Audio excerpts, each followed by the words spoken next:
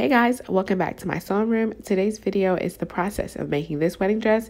If you guys are interested in purchasing this wedding dress, I'll have it available in sizes 2 through 18 in black and ivory. So check the description box below for more information. Let's go ahead and get started.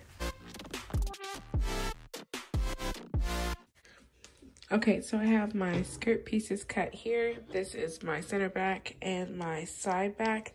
And then I also have my front pieces cut here. And these pieces, I didn't show how to make the patterns here um, because they're the same patterns that I always make my videos. So these are just plain princess seam um, skirt pieces that are extended down into the train and I didn't make them have that much of a flare. And then I also have um, lining pieces cut identical to these, except they are an inch shorter at the hem. I'm sorry about the lighting, guys. The sun is literally getting ready to go down. So, um, I excuse the lighting, but I want to get started on making this dress. So the first thing I'm going to do is I'm going to assemble the skirt, the main skirt, and also the skirt lining. I'm just going to sew up the princess seams, and I'm going to sew up the center back seam as well, and leave my, um,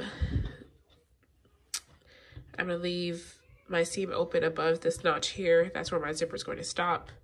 And then I'm going to try it on my dress form to make sure that it fits. And then if it fits good, which it should, I'm going to sew my side seams and then I'll meet you back there. Okay, so I've got my skirt assembled and I sewed all of my seams with a two and a half centimeter um, seam allowance to account for the stretch of the fabric because it didn't um, interface it at all. So it still has all of its stretch. And my back seam allowance, um, come on, focus. There, okay. My back seam allowance for my center back seam is um, three centimeters. What I'm gonna do now is work on my bodice pieces. These are my bodice pieces and my sleeve and I have marked, um, so there's gonna be an under bodice that follows along this guideline, and then there's gonna be the over bodice that um, is the whole piece. So I'm going to cut the under bodice from, um, I was trying to figure out if I wanted to do a transparent bodice or not. Hmm. No, I don't think so. Okay, so I'm going to cut the under bodice from the satin and the lining and everything, and then the over bodice is going to be cut from lace. And I'll do that, and then I'll show you what it looks like when it's all cut out. Okay, so I have assembled the main layer, and I also steamed it. That's why it looks all nice and smooth. I got a steamer for Christmas, so I'm really happy. I've been using it like crazy. Um, I didn't show how I assembled this because I make literally the same base of the gown in all of my videos. So this is just a plain princess seam bodice and a princess seam skirt that I extended. And I just put it together and I cut the lining identical. Let me show you the back.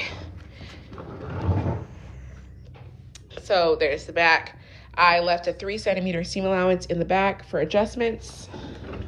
So what I'm gonna do next is assemble um, my lining pieces and then I'm going to, um, hmm, yeah, I'm gonna assemble my lining and then press that out, give it a steam, set it to the side. And I think I'm actually going to work on my overlay. For my overlay, excuse my mess, y'all.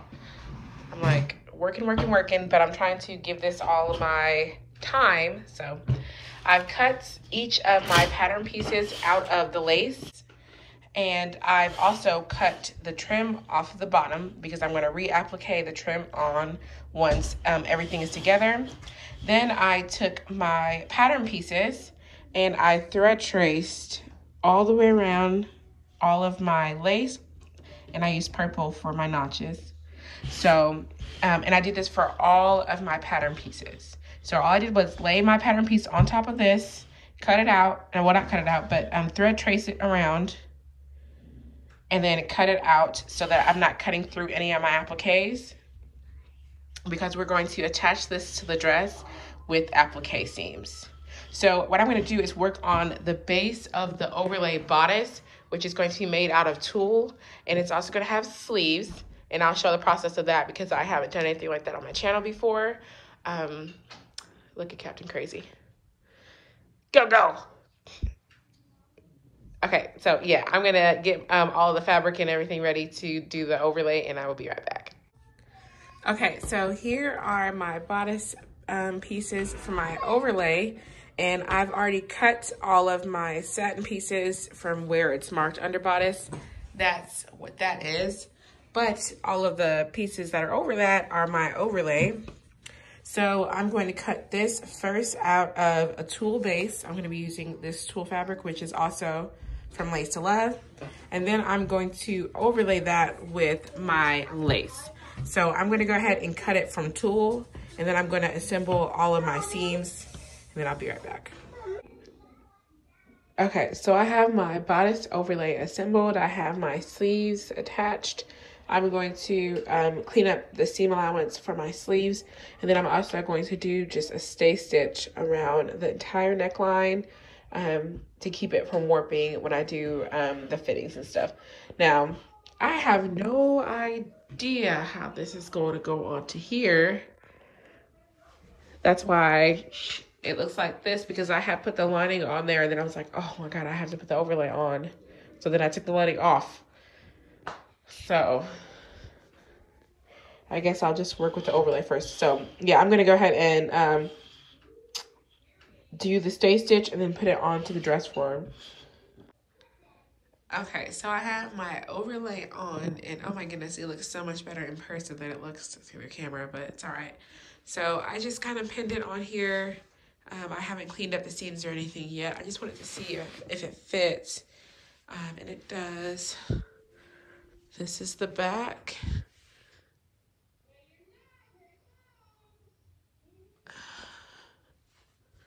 I'm trying to figure out how I'm going to do this because hold on. I'm trying to figure out how I'm going to do this neckline here because this is level with this. So this could be turned in as one.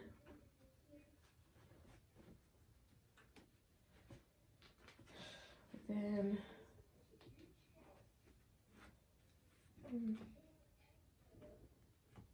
that can be turned in as one. And then I can do these two separately. Yeah. This is all the trim that I cut off. And this would be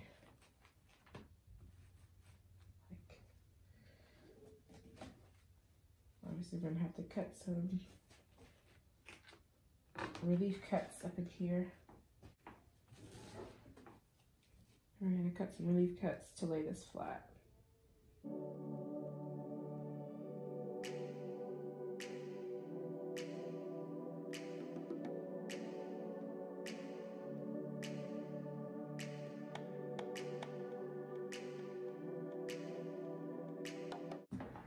This is really rough, guys. I'm just pinning it to see if I like it.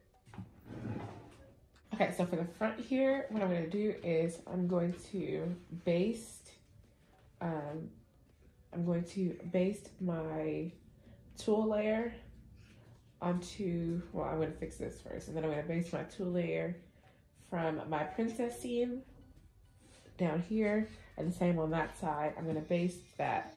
And then in the back, I'm going to baste it just here. Yes, I think that will do.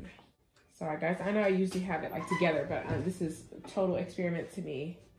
I usually don't do bodices like this, but it's a happy challenge. So yeah, I'm gonna do that. And then I'm also going to hand baste this down here.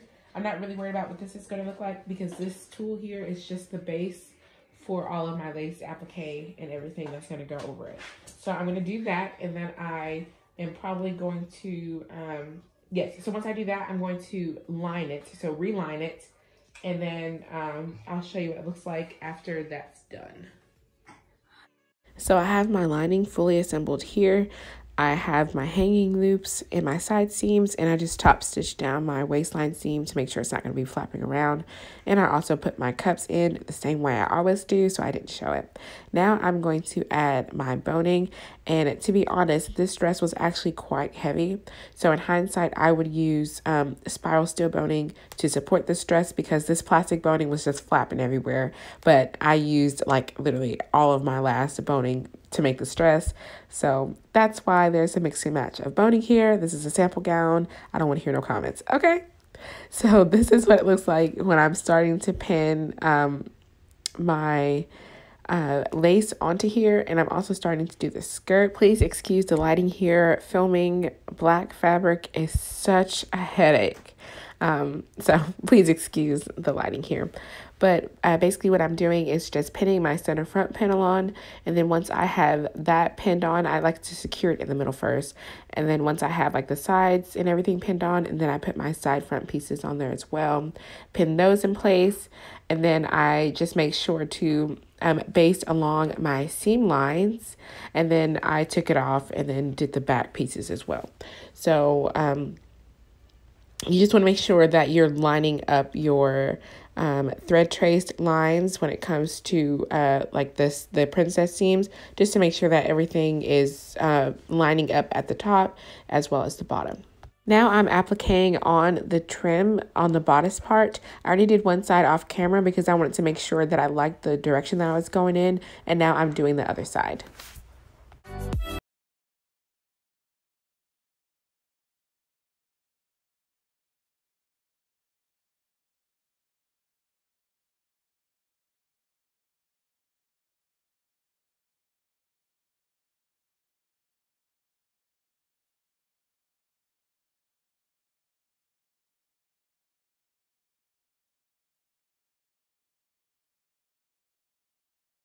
I have my back piece all assembled and I have the center back seams pressed open.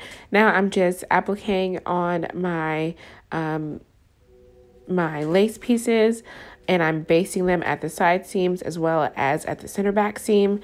And then I put the train piece on as well and just did the same thing. So just base it around the, um, the side seams and across the bottom.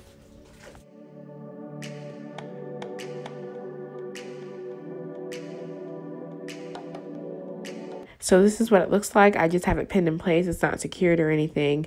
Uh, in hindsight, I will actually just buy extra lace um, so I won't have to do this next time. But, you know, we have to work with what we got. So I have my skirt back here. I just have it folded in half. And I have all of the sides basted here and I've basted down this bit here. Don't worry about how it looks now because it's going to be covered with um, some appliques kind of like this to where it'll be like a border um, right there. So you won't see that. Um, so what I'm going to do now is take my front skirt, which is currently still on my dress form. I'm going to take my front skirt off of here and I'm going to sew the side seams process of sewing the side seam of my lace overlay. Now I said I'm gonna do it by hand because I just broke a needle like a dummy because I forgot that this is fully beaded. So I'm probably gonna break a lot more needles. So I decided to hand sew it, but lucky accident. So I decided to make sure all of my seams line up like this. So when I sewed the side seam through the middle of the applique, it still kind of looks like a full applique there at the side seam. So I'm going to make sure all down the side seam that these are lined up where they can be lined up so that I can get more happy accidents. Okay, so I have everything pinned on the bodice. I know black is so hard to see, guys. But I have everything pinned on the bodice. So now I have my dress form on my table and the skirts on too. This is just put the skirts on, everything. Um, so now I'm going to call it a night and spend the day tomorrow hand sewing everything on here. I'm not going to glue it this time because I noticed with the Gütermann glue, um, if you're not using white fabric, it shows up like a residue. So when you're using fabrics other than white, um, it's, good, it's a good idea to hand sew everything on. And I'm just spending a couple of hours um, hand sewing all these appliques down. Like I said earlier, I cannot use uh, the Gütermann glue that I usually use because I noticed that with fabrics that are not white, it leaves a residue that I am not trying to have to um, deal with. So I decided to take the time and hand sew everything on, which was actually kind of therapeutic. So I finished hand sewing on um, all of the bodice appliques. Um, and then I put some trim, that will be like the border for the bodice. So I need to cut this out and sew this on. Then I just started appliquing the sleeve. Um, I cut the sleeve out and I added some appliques here as well as the little trim at the bottom. So all this needs to get sewn on now. And I also started to applique back on the trim here. Um, thank you, baby. Applique back on the trim here at the bottom of the lace skirt, which this, uh, I'm trying to figure out if I want to cut it out or not, because this is what it looks like when it's not cut out. But I think I need that stability to keep it on there. So I may leave it on there, and I'm going to um, pin that all the way around the skirt at the bottom. And then after that, all we have to do is do the other sleeve, finish the back. The back is looking crazy. I need to applique the bodice, um, and then finish the trim, put the zipper in, and then figure out this situation here, which this is gonna be my last thing that I do because I'm trying to figure out, I want this to have a button closure here. Um, so I want, I don't know what I want. But I think this is just turning out so pretty. I'm so excited to um, finish this up. So I'm going to do a whole bunch of hand sewing. I'm to spend the whole day hand sewing. Then I might work on another project um, so I can get a video up this week. Yeah. Okay, so I haven't filmed anything for the dress so far because I'm still on the same step. I have hand sewn all this side on and then I just, just finished tacking on the trim at the bottom and then I just finished appliquing the back. So all this needs to be hand sewed. The sleeves need to be finished. The same goes for this side. I've got to finish this sleeve. Um, and then get the zipper in the back and the trim applicated on the bottom. So I'm going to continue to work away on hand sewing this thing and I will probably meet you guys back when it's time to do the trim because I'm going to show you guys how I'm going to do that. And then I have to do the hem as well. I'm not putting horsehair or anything in it, just a plain narrow rolled hem. I'm just going to cut it down so that it's going to be shorter than the, the skirt here. But yeah, I really love the way it's looking. I'm looking at the camera now and I noticed that these two, oh, I was gonna say this is not this is not on there yet.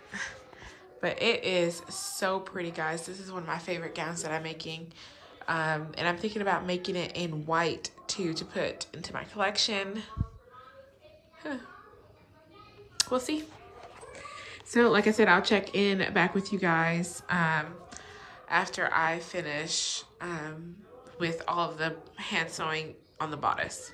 So I'm going to take a pair of tiny scissors, I love these scissors, and I'm going to cut off the extra lace. Of course, there's a car driving by. I'm going to cut off the extra lace um, for all of my uh, trim pieces and now I am just appliquing the trim on so I'm showing you here really quickly I have the bottom of the skirt and then I have the trim piece and I'm just aligning them until um, the bottom of the skirt is kind of invisible and then I'm just going to go ahead and pin in place all around and this is what it looks like when everything is pinned. I like it a lot. Um, like I said, in hindsight, I actually will cut a full tulle layer as the base um, for the front too and then do this onto the tulle instead of um, having the lace just by itself because I think it'll be more stable that way.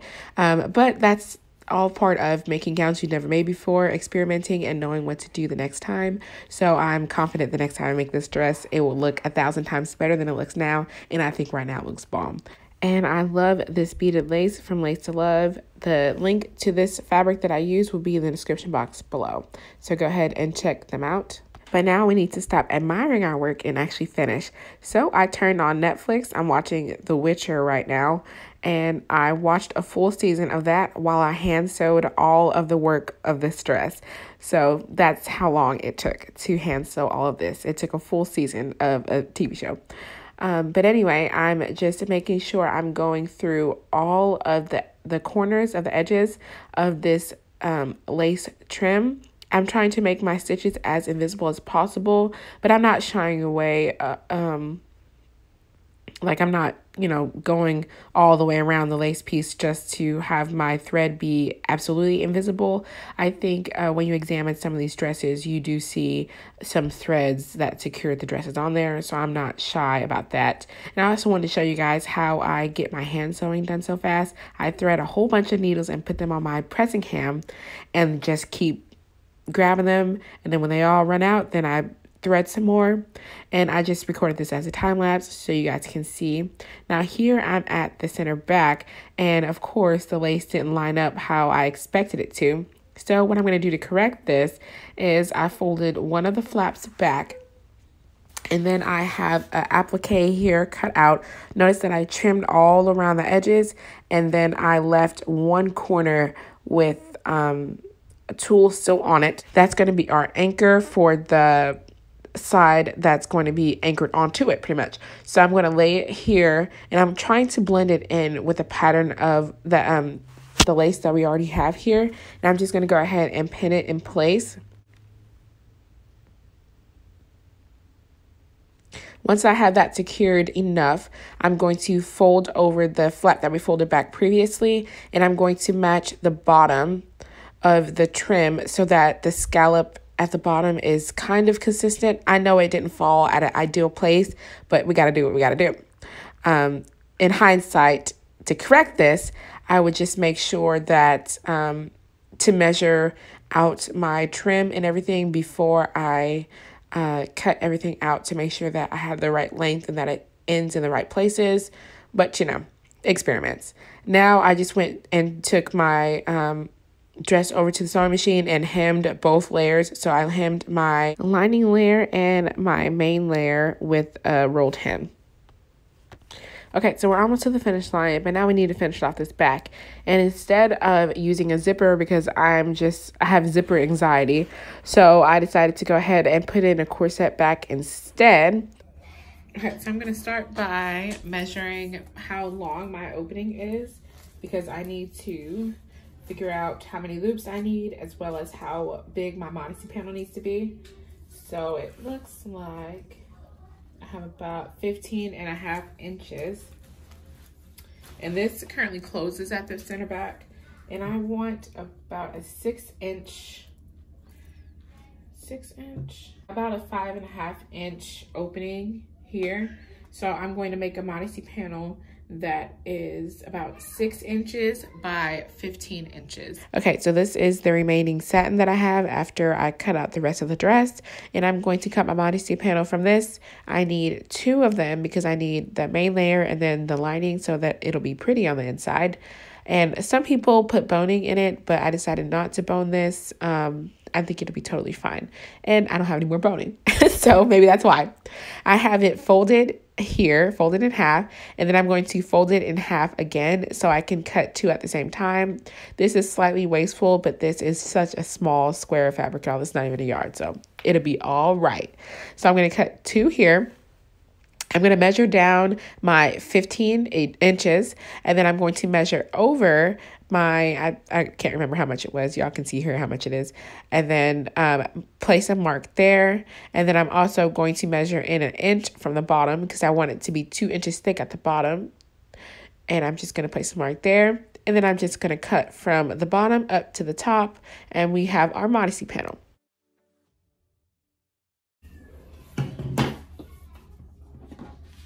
and then you want to cut the top open as well.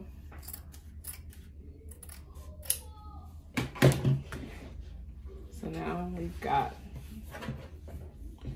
our modesty panels cut one of these from interfacing though. Okay, so now that I have one interface, I'm going to uh, place them right sides together and I'm going to sew them, leaving the bottom open so that we can turn it out. And also after you finish sewing, you want to clip your corners uh, to make sure that it turns out smoothly and you have nice and pointy corners. So I'm going to go ahead and do that. At the same time, I'm going to cut lots of bias strips and I'm also going to sew these together. These are going to be our loops for our corset. And then I'm also going to cut a um, two inch thick and super long uh, strip of fabric on the straight grain. And that's going to be our, um, our late, our lacing. Yeah, it'll be, that'll be our lacing for our corset. I also used some 3 eighths of an inch ribbon here and I'm cutting them the length of my corset opening. I'm cutting two of them because obviously we have two sides. And this is going to be the base for our loops. Now I didn't show in depth how to do the loops because it's so freaking annoying. But pretty much what I did was mark a centimeter down and then a centimeter um, every I marked every centimeter and each of my loops are two centimeters wide but well they were supposed to be but they didn't turn out like that uh, usually I buy this already made, but I decided to make it this time. And this is what it looks like when I have it all sewn in and then you just finish off the lining like how you would do if it's a zipper. And this is what it looks like. And I also slip stitched my lining down after this and it was a headache, y'all. Makes me want to buy a thimble, which I don't know why I don't have, but makes me want to buy one. And I think it looks nice and neat um, besides my fugly loops, but you know, it it's a sample gown and it functions. And now it's time to finish off the trim here at the top. I figured out how to do the, um, this side here had to be like spliced into two pieces. So I took one piece and I um, appliqued that onto the front, trying to ma uh, match the curve here so it looks like it's continuous. And then I just made sure to lay it nice and flat there, like at the underarm seam, so that it looks neat. And then I made sure to smooth it over the arm and just applicate that on. I think you guys can probably see it better than I'm attempting to explain it horribly.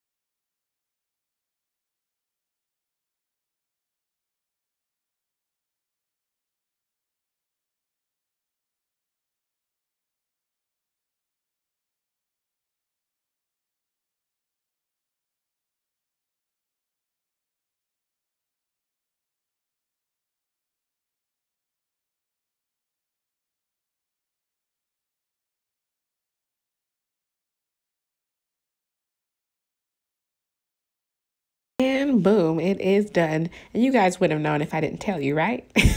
no, I'm not that good. But I think it looks pretty good um, for now. So um, I'm just going to go ahead and hand sew everything on including finishing off this sleeve that I put off to the end because I just, I don't know, sleeves hate me and I hate sleeves equally.